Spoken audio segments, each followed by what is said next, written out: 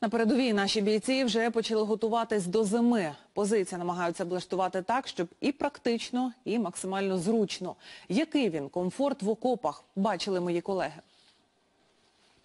Це претендент на зразково-показове укриття для всього північно-східного фронту. В одній із лісосмуг Луганського степу поблизу селища Кримське українські бійці збудували собі новий бліндаж. Утеплювач, обшивка, відбивач, завжди гаряча вода.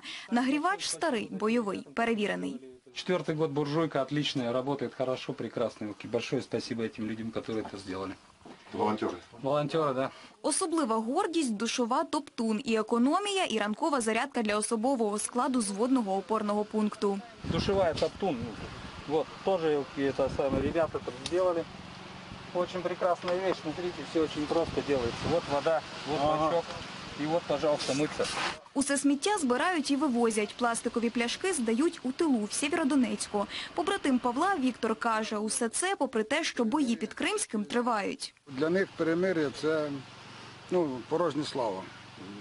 Як надалі вони порушують його, стрілкотня звичайно, крупнокаліберні, СПГ, РПГ-7. Ну, тобто вони застосовують все, що можуть. Наближаються холоди, але паливний запас у бійців уже є.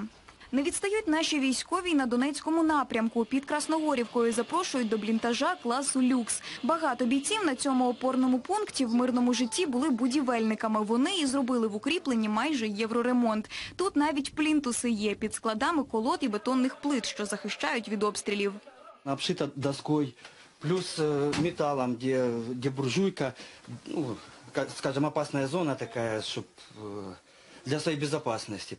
Для кожного бійця облаштовані розетки, є комп'ютер і стереосистема. Усе це завдяки допомозі бригади, волонтерів, частково власним коштом. Міноборони оголосило конкурс по всій лінії фронту на кращий зводноопорний пункт від Приазов'я на півдні до станиці Луганської на півночі. переможець на кращий ВОП отримає приз 100 тисяч гривень. Я упевнений, що у нас хлопці живуть однією сім'єю, однією єдиною сім'єю, тому гроші, отримані за перемогу, будуть розподілені взаємно між собою. Друге місце – 80 тисяч гривень, третє – 60. Переможців визначають, зважаючи на якість облаштування бліндажів, траншей, душових санвузлів, місць зберігання зброї. Результати конкурсу оголосять за місяць. Іван Нелліна, Геннадій Вівденко, Вадим Ревун, Антон Чиженко. Новини телеканал Інтер.